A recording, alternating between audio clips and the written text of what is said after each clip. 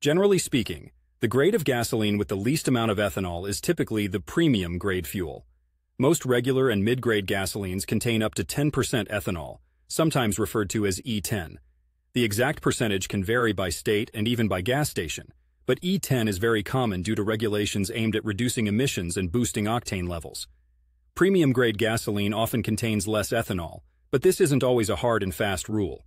In some areas, premium gas might still contain up to 10% ethanol. To get ethanol-free gasoline, you sometimes have to look for gas labeled as E0, zero ethanol, or visit stations that specifically sell ethanol-free fuel. These stations aren't as common, but they do exist. Why avoid ethanol? 1. Engine efficiency. Some engines run more efficiently on ethanol-free gas. 2. Fuel stability. Ethanol-free fuel tends to have a longer shelf life. 3. Water attraction. Ethanol attracts water, which can lead to issues in certain engines, especially boats and small engines. How to find ethanol-free gas.